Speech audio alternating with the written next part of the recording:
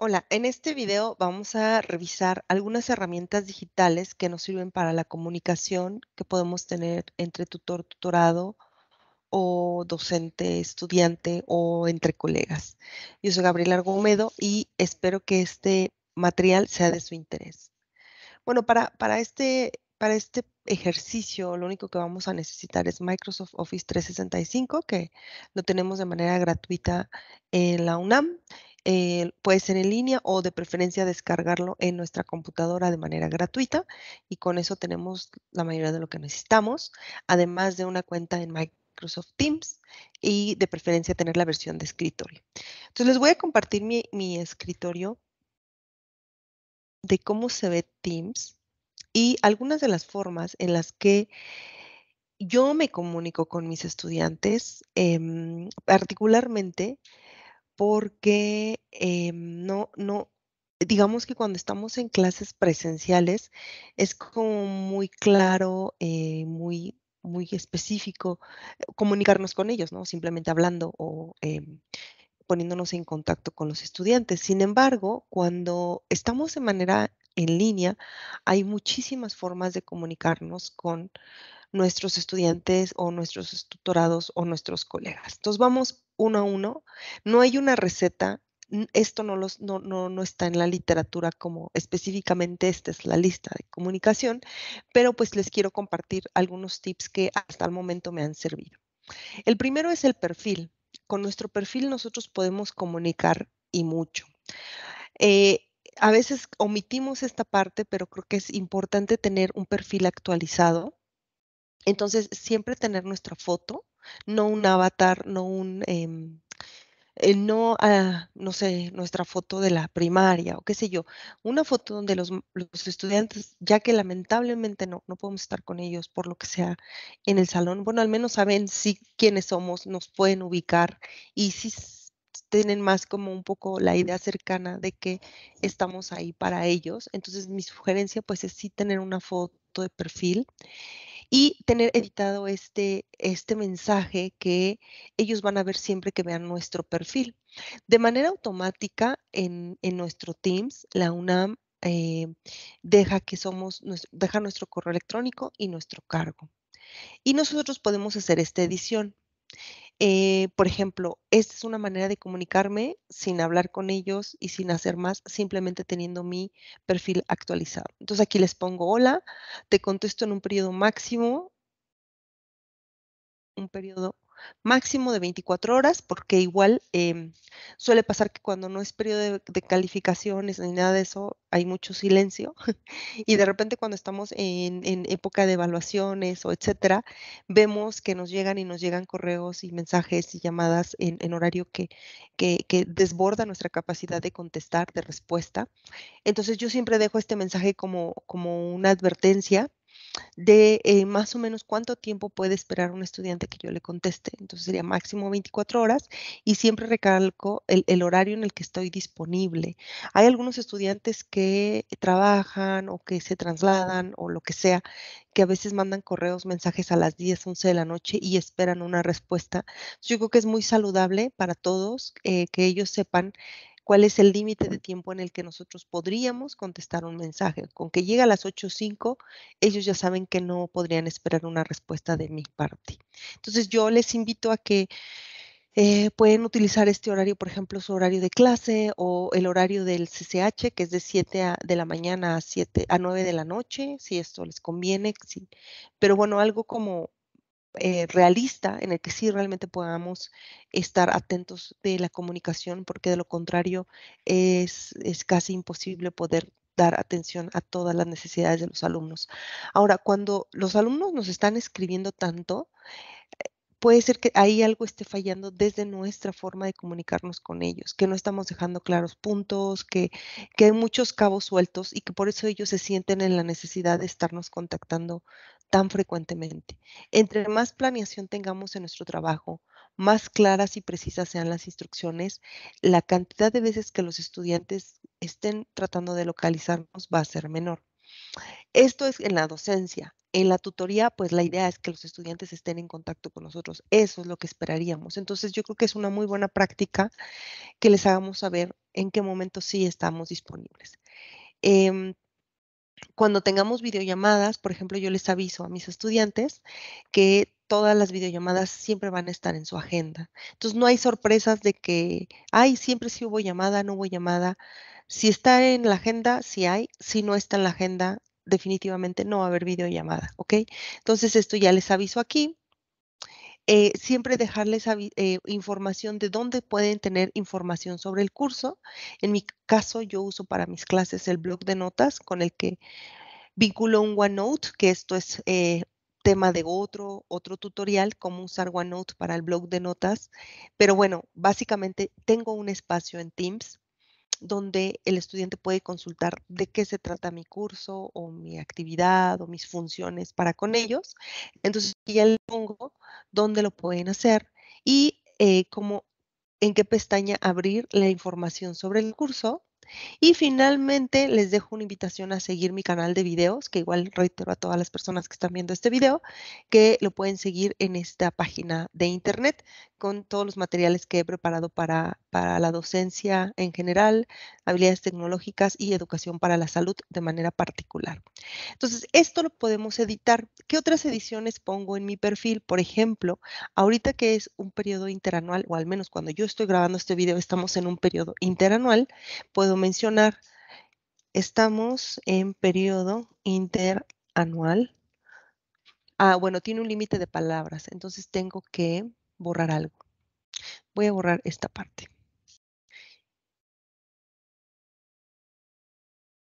Y voy a poner esto. Estamos, y esto lo pongo cuando estamos de vacaciones también, en periodo interanual.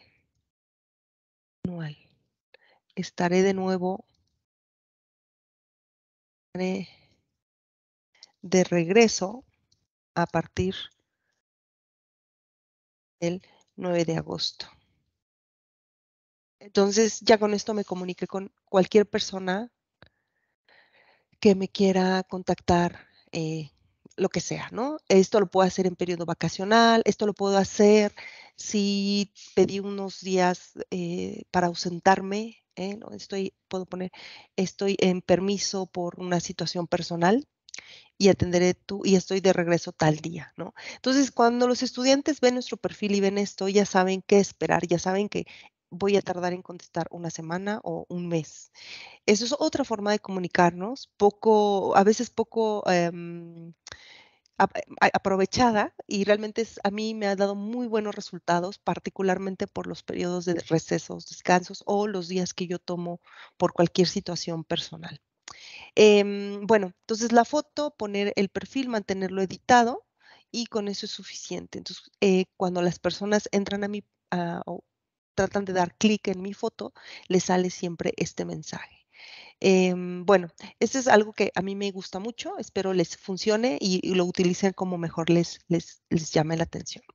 Otra cosa que utilizo que les voy a compartir es los mensajes, cómo podemos usar los mensajes con eh, varios equipos. Yo, por ejemplo, tengo dos grupos de tutoría. Entonces, eh, generalmente la información que mando a un grupo de tutoría la mando al mismo grupo. Por ejemplo, cuando cuando mando información sobre la inscripción a los exámenes extraordinarios, ¿ok? En lugar de mandar la información en un grupo y luego me paso al otro, ojo, no ocupo ni Facebook, ni WhatsApp, ni ningún otro medio de comunicación que no sea Teams.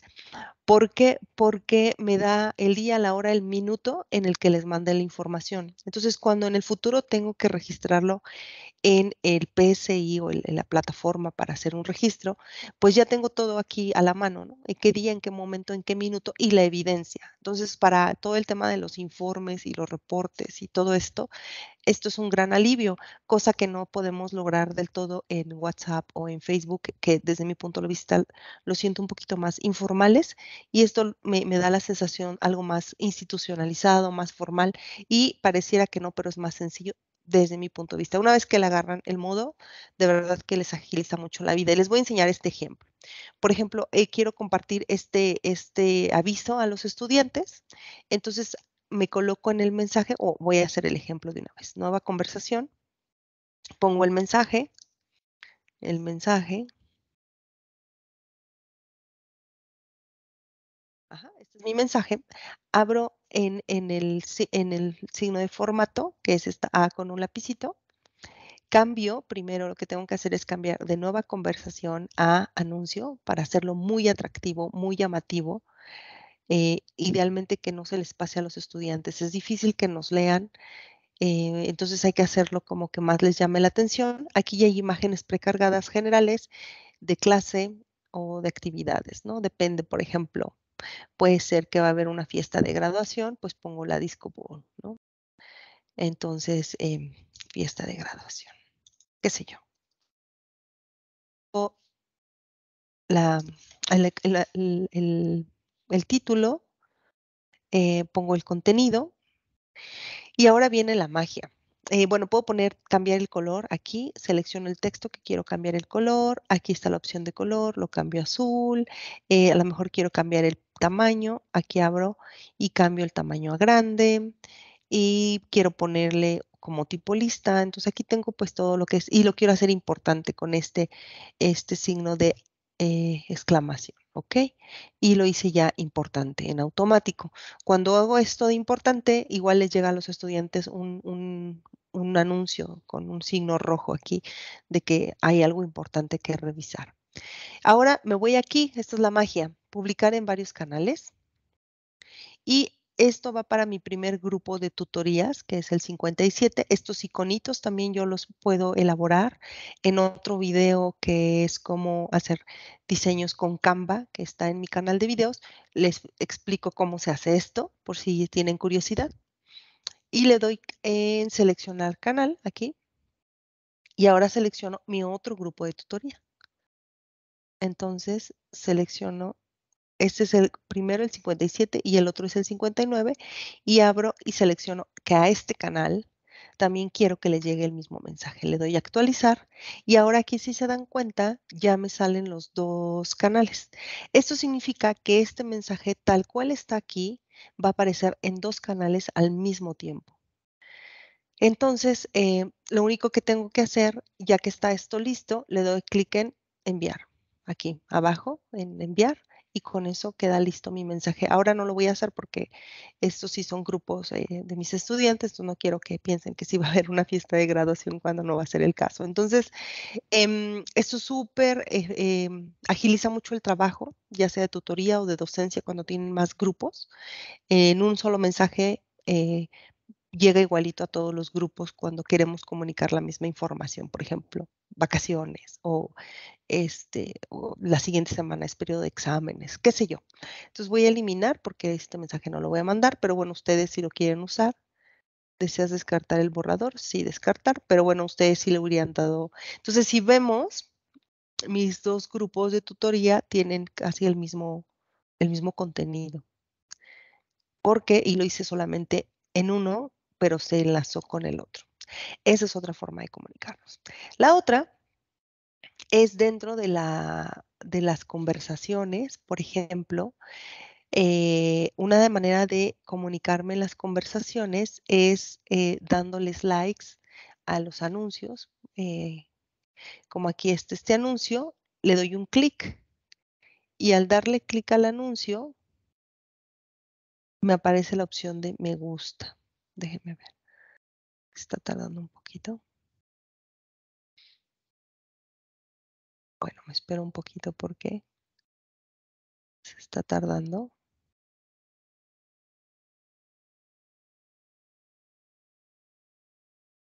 Ahí ya me había salido. Aquí está. Miren, nada más de colocarme, tengo la opción de me gusta, me encanta, etcétera. Hay más. Aquí están todas. Entonces, yo al ponerle este like o el me gusta o me encanta, eh, reflejo que estoy al tanto de esta comunicación. En, en, este curso, por ejemplo, yo les he estado solicitando a los profesores que le den clic en me gusta y con eso confirman de recibido. Es como el confirmo de recibido el mensaje, ¿no? Eh, aquí, si nada más tengo, por ejemplo, tres likes, me hace sospechar que que no, que no leyeron esto. cuando yo comparto información, por ejemplo, a mis estudiantes eh, de que cuando va a ser la inscripción para el extraordinario, por ejemplo, entonces aquí, eh, si nadie puso like y les pedí un like, si lo leyeron, em, me hace sospechar que no están al tanto. Entonces ya es mi trabajo conseguir que sí me lean y buscar otras maneras más efectivas. Pero bueno, esto es una opción, pedir este famoso like que llame su atención de los estudiantes. Em,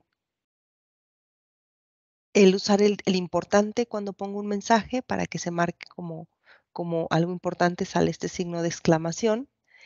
Eh, ¿qué, otra forma? Bueno, cuando quiero hablar directamente con un profesor, por ejemplo, este, hola, y quiero poner su nombre, si pongo Alejandro Cornejo, por ejemplo, eh, no, no, no me sale nada, bueno, puedo escribir lo que yo quiera. ¿Sí? Y le doy guardo, le doy enviar. Y si se dan cuenta es como un texto más y Alejandro no va a saber que estoy tratando de contactarlo. Si yo le doy aquí en editar, los tres puntitos, le doy editar y vean lo que voy a hacer. Lo único que voy a hacer es ponerme al inicio, pongo una arroba y al hacer eso, me sale la lista de los posibles Alejandros que están en mi grupo. Entonces, aquí no, no está Alejandro. Voy a borrar el apellido. Aquí está, Alejandro Cornejo. Ya me salió, solito, en automático salió. Lo único que hice fue poner el arroba antes. Y cuando hago eso, ya me sale su nombre y su correo.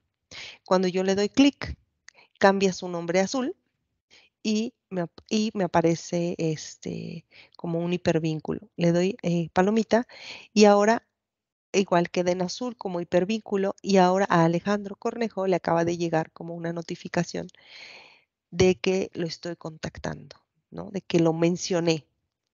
Entonces, eh, este es muy eficiente cuando queremos llamar la atención específicamente de una persona dentro de nuestro curso, dentro de nuestro team, Em, que queremos que nos ayude a responder algo, queremos conocer su opinión, qué sé yo. Entonces, esa es otra forma de comunicarnos. Bueno, la otra que me gusta mucho eh, es que para que los estudiantes eh, vean eh, que estoy comunicándome con ellos y, que me sientan una persona a la que se pueden acercar, con la que pueden hablar, que no soy alguien lejano, pongo estas figuritas como, como animaciones. Este, bueno, también poner, ahorita me paso para los premios, pero estas animaciones, por ejemplo, el, clip que anda por ahí es muy sencillo de poner. Y me voy aquí a la nueva conversación.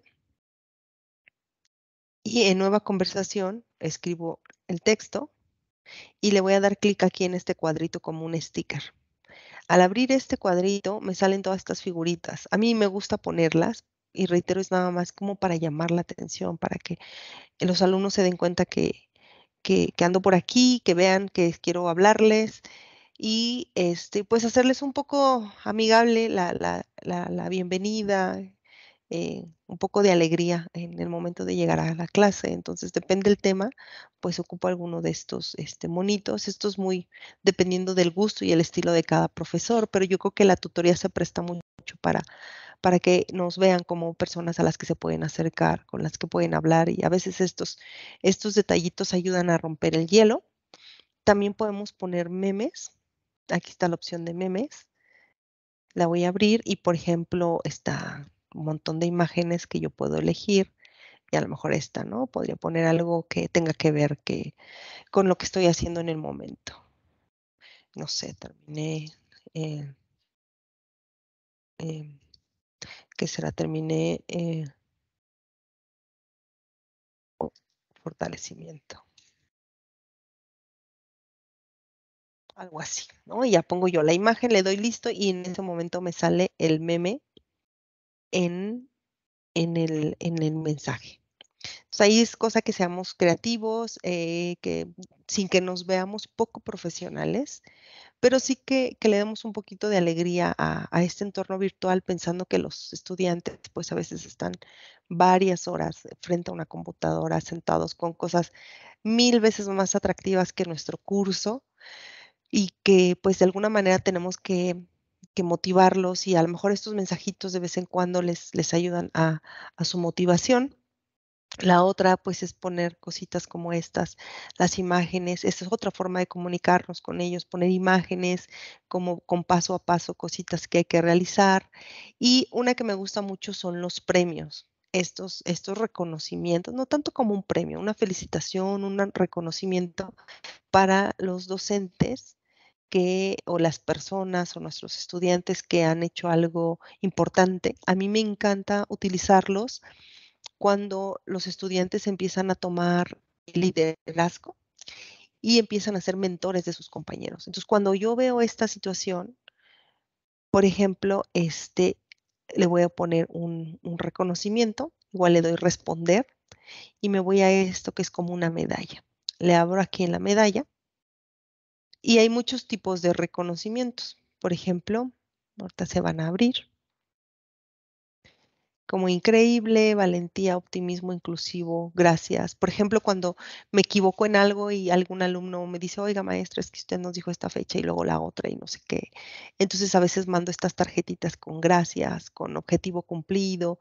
Cuando veo estudiantes que hay algún tema o punto que veo que les costó, pero que lo sacaron adelante, pues trato siempre mandarles este reconocimiento de solucionador de problemas, eh, jugador en equipo. Esta es mi favorita, me encanta encanta mandar reconocimientos de liderazgo eh, para motivar a los estudiantes a que, a que sigan eh, tomando iniciativas, que nos esperen a que a recibir indicaciones, sino que ellos digan, busquen, analicen eh, y sean quienes empiecen a jalar a sus compañeros. Entonces, esta me gusta, liderazgo creativo y entrenador.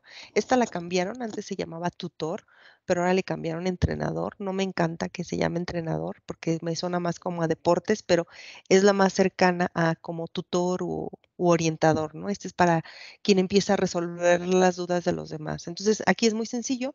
Le doy gracias escribo una nota si la quiero personalizar. Eh, le pongo gracias por todo tu apoyo, no sé. Y aquí lo único que escribo es el nombre de la persona, ¿no? Lo selecciono y con eso queda listo, le doy enviar y en el momento le sale una felicitación como esta y le llega la notificación a la persona, lo cual se me hace un detalle, un gesto que los estudiantes eh, pueden, pueden sentirse pues emocionados o motivados, ¿no? No sabemos si va a ser igual para todos, pero podemos ir explorando qué les gusta nuestro grupo, con qué nos podemos comunicar mejor. Bueno, la otra forma de comunicarnos con ellos es a través de las eh, secciones de tareas.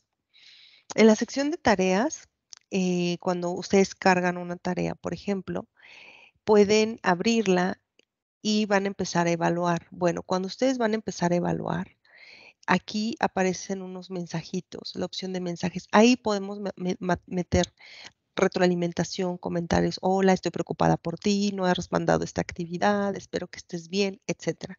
Entonces, esto nos sirve para eso.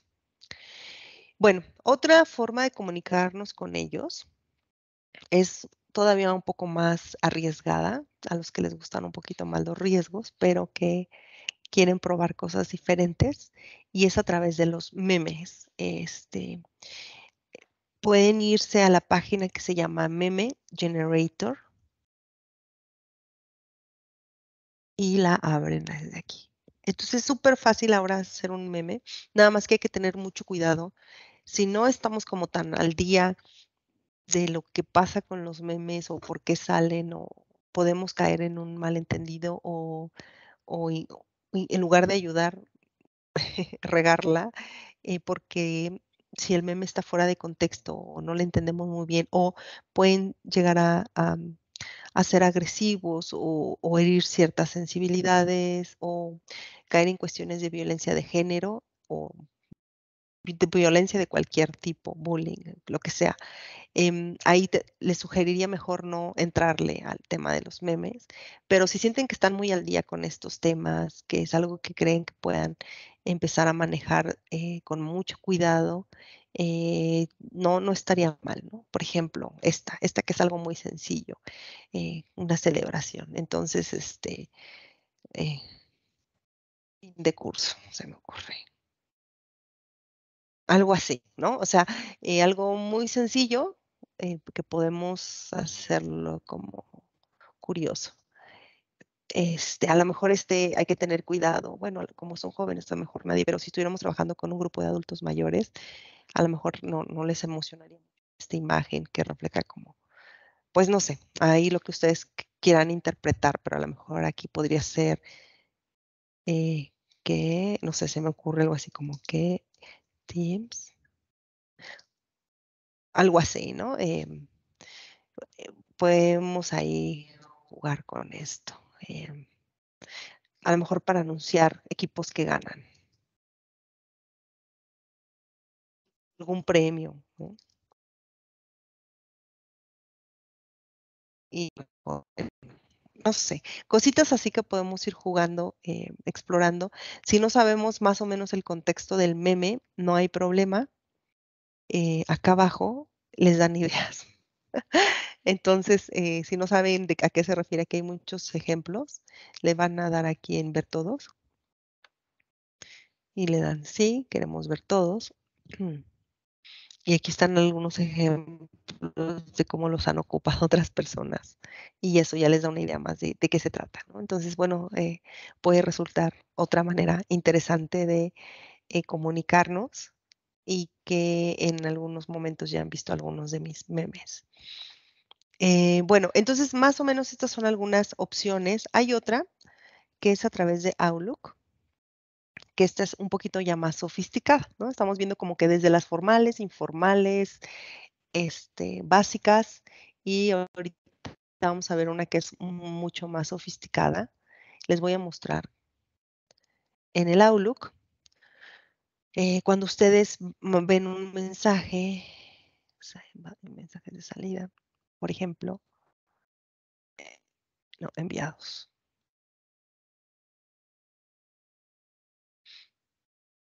Fíjense bien, por ejemplo, aquí, este, este es una que hizo un trabajo muy bien hecho. Entonces, este, está aquí el correo donde yo le la felicito y le doy Teams, menú.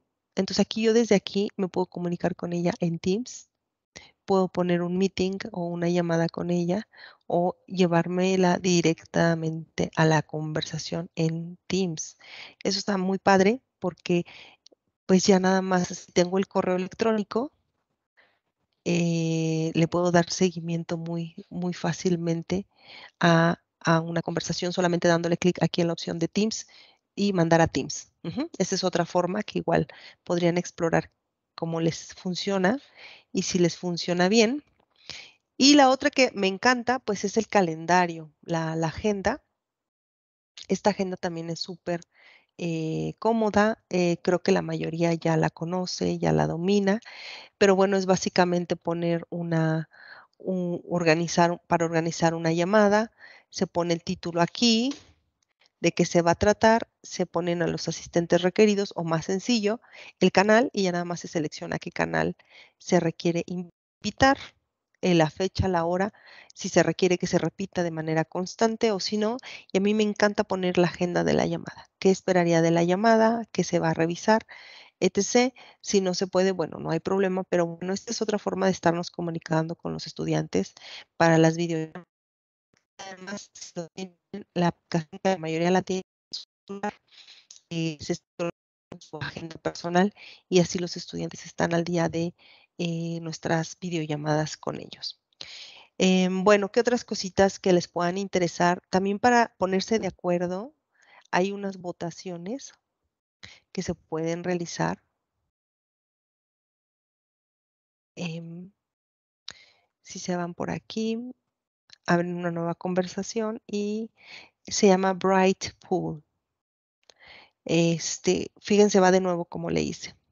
Abre nueva conversación y luego abren estos tres. Si no está entre sus aplicaciones que ocupan de manera frecuente como YouTube, yo casi no lo ocupo, pero me aparece por default. Le abren los tres puntitos y buscan Bright Pool. Si no le sale Bright Pool, aquí lo, lo teclean, Bright Pool, y ya les tiene que salir.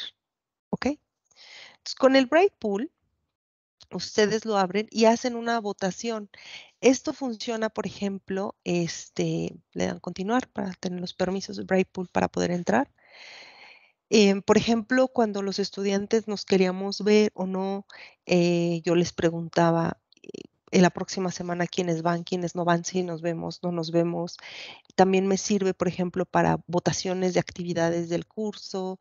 Este, y está bien padre porque queda en línea y quedan las votaciones en tiempo real, como unas elecciones. Entonces, por ejemplo, em, a la pregunta del millón. ¿No? Por ejemplo, esta. Y puede ser que la respuesta sea texto libre o texto abierto o seleccionar una respuesta. Yo les sugiero que nunca usen las de texto abierto porque es difícil como llevar un conteo y un control. Y si es solamente una votación, casi siempre es sí, no, verde, blanco, azul, etcétera. Entonces, tratemos de hacerlas así, muy simples y que podamos contabilizar rápido. Limitar que una persona, un voto por persona, pues sí, porque si votan más veces, ah, creo que esto no me lo permite no me permite hacer esto porque necesito tener eh, la versión completa. Entonces dejémoslo así y le dejamos post pool.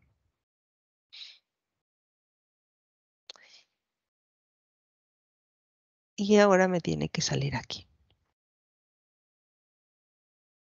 Y aquí está ya mis participantes, mis compañeros de equipo, mis estudiantes o quienes sean mi audiencia. Va a ver esta votación, nada más le va a dar sí, no y votar. Y yo voy viendo eh, las votaciones de todo el grupo. Entonces es súper práctico, es otra forma de comunicarme con ellos, de no estar preguntándole uno a uno, oigan, ¿qué vamos a hacer? Que no sé qué. Eh, eso también ayuda mucho.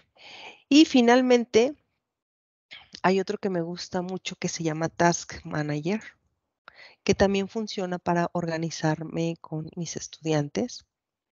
Abrimos aquí como más para poner más aplicaciones y le vamos a dar Task Planning, es este. Task Planning sirve para organizar como un plan de trabajo con nuestro grupo, con nuestro equipo y además asignar específicos. Yo quiero que el participante ABC realice esta, esta actividad o el estudiante o el tutorado eh, puedo utilizarlo. Esto sería una muestra. Muestra de tal. Y le doy guardar, publicar en el canal. Entonces le doy guardar, se empieza a, a cargar y con esto se pueden hacer cosas muy padres. Les voy a enseñar cómo lo apliqué en la tutoría, con en lo que se carga acá. Le puse a un task planner eh, lo nombré em, cambio de hábitos como para ayudarle a los estudiantes a, o hábitos nuevos le puse a este Task Planner, con la intención de ayudarle a los estudiantes a establecerse pequeñas metas para lograr cambios hacia cosas donde ellos querían encaminarse en el corto y en el mediano plazo. Entonces, cada estudiante abrió una pequeña bandeja, aquí están los nombres, y pusieron las actividades que quisieran hacer en sus vidas o integrar en sus vidas de manera constante y qué pasos harían, qué días, etcétera. Entonces aquí, esto es eh, la vista de panel, esta es la vista de lista donde se ve quién, quién se puso qué metas y se pone quién las logró. Las gráficas de logros, esto está bien padre cómo se puede hacer la gráfica de logro, que se puede hacer con un equipo de trabajo o un ejemplo como lo apliqué en tutorías. Y, bueno, programación es como una agenda, ¿no? Que tengamos la meta de que logren, em, no sé, eh, leer un libro al mes. No sé, ¿no? Si los estudiantes, uno de sus, de sus objetivos era leer un libro por mes, entonces la meta es que a final de cada mes hayamos terminado de leer un libro, qué sé yo. Entonces, estas actividades son muy fáciles de ir llenando Me regreso a panel, nada más le doy agregar tarea. Aquí pongo la tarea leer más novelas, por ejemplo. Establecer la fecha de entrega, bueno, para el 3 de julio, por ejemplo, y se lo voy a asignar a Alejandro. Ah, bueno, aquí él no me aparece porque no está en este grupo. Así me sale. Asignar y agregar.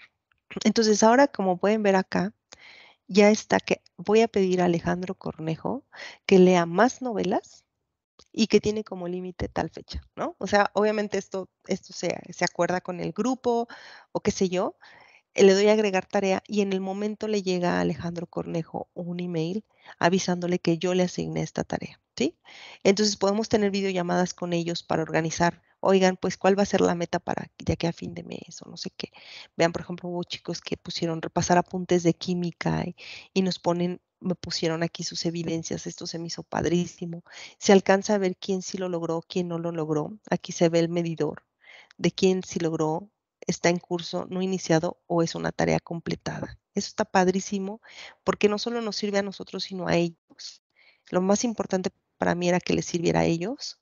Hubo quienes se lo tomaron muy en serio, quienes no, pero bueno, fue otra manera de, de tener como una actividad diferente con, con los estudiantes del equipo tutorado. Bueno, pues espero que estos tips les hayan servido, que les hayan resultado algunos, que les den ideas, inspiración y nos vemos en el siguiente video. Yo soy Gabriela Argumedo. Hasta la próxima.